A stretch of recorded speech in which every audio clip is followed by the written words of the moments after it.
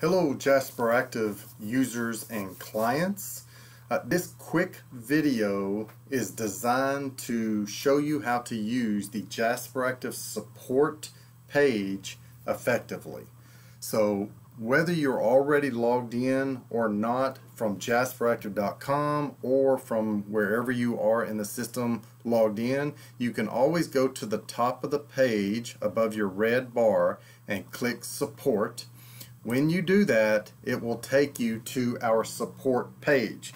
I first encourage you to bookmark that page. It is simply support.jasperactive.com.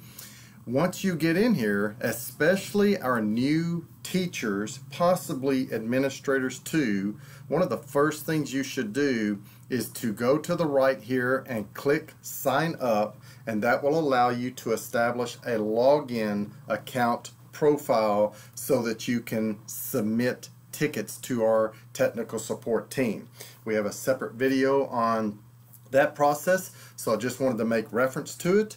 Uh, to move forward with this, though, we will focus on how-to guides, the video library, and a few other things as well. So let me click how-to guides here. This will be important to many of you getting started. Uh, so what you'll see here is they're broken out into groups uh, if you need to access more than what's displayed here, simply click the blue link. Some of our most popular guides here are how to activate a new student account. Also, we often have teachers call us and say, I have a student that changed their schedule, they've moved from one class to another, that's a different group, or it's a different teacher altogether, then you will want to reference linking to a teacher. Those are just a couple of examples these are short, usually two to three to four page guides. Many of them begin with a video tutorial as well, so you'll definitely want to become familiar with those. If I return back up here to the top and I actually click video library, then that will take you to our youtube.com channel. Once you get to that, uh, make sure that you click subscribe and then after that click the bell icon so that you will be alerted as we release new videos, webinars, and tutorials and the like. So make sure you take both of those actions. Returning back to the support page here though, the next thing you'll want to become familiar with and use regularly, likely even before contacting technical support, is our search bar here. Uh, this is our knowledge base. It will allow you to access our support articles and FAQs, etc.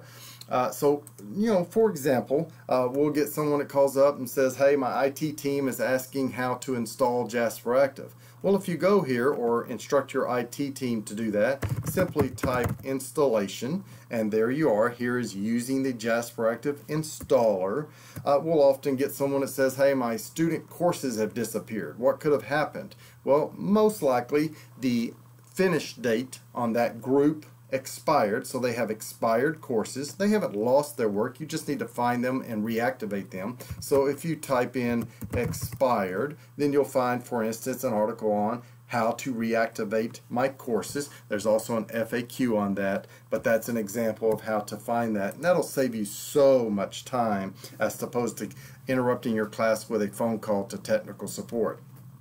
Similarly, especially for you hardworking teachers who work in the evenings on the weekends uh, beyond our normal support hours, you might want to become familiar with our red button down here. We call it our help bot and that's a 24-7 search feature where you can type in some typical terms or common terms that you think might describe your issue and our, our system automatically will attempt to point you in the right direction and you might find that helpful during those off-peak times.